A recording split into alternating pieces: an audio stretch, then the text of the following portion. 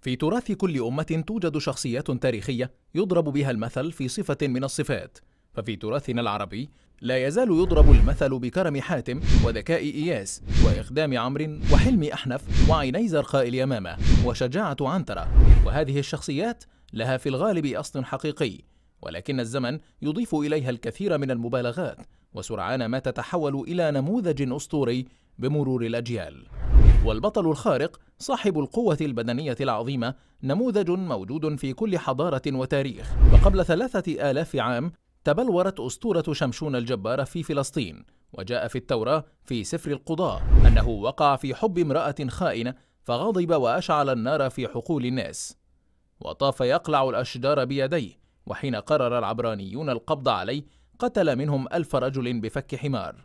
وبعد ذلك حاولوا منعه من دخول مدينتهم ولكنه نزع الأبواب بيده ورماها بعيدا. وبعد أن عجزوا عنه دبروا له مكيدة بمساعدة حبيبته الخائنة فقد دعته لفراشها وسقته الخمر حتى نام ثم فقأت عينيه وقصت شعره الذي كان مصدر قوته فغدا عبدا ذليلا. أما في التراث الإغريقي فهناك هرقل الجبار وقد نشأ لطيفا نبيلا رغم قوته الجبارة وقدرته الخارقة. وقد كرهته هيرا زوجة زيوس الأولى فدبرت له اثنتي عشرة مكيدة نجا منها جميعا بفضل قوته العظيمة. وبسبب ذكائه وحكمته أعجبت به الآلهة وعدته واحدا منها حسب الأسطورة.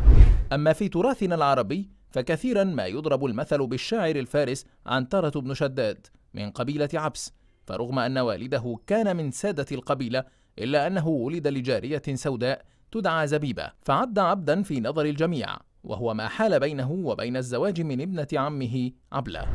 وقد عانى عنترة من ظلم العبودية لفترة طويلة حتى شاعت فروسيته بين العرب فاعترف به والده وألحقه بنسبه وقد عرف بقوته الخارقة وشجاعته الفائقة.